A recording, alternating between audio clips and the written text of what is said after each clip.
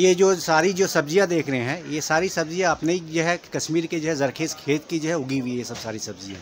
लगभग जो है यहाँ पर जो है सारी सब्ज़ियाँ होती है देख सकते हैं जी जी।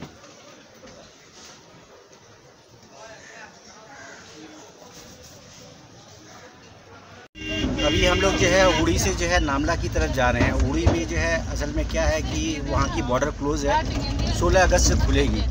तो नामला से जो है हम लोग जो है मुस्तक चौक की तरफ़ जाएँगे। वहाँ पर जो है आप लोगों को जो है पूरी बॉर्डर वगैरह को दिखाएँगे इंडो पाक बॉर्डर अभी हम लोग जो है उड़ी के एक गाँव है उनका नाम है नामला। इस नामला गाँव की कुछ जो है खासियत है जिसको हम लोग जो है दिखाएँगे। ठीक है? आप लोग इस वीडियो में बने रहिए।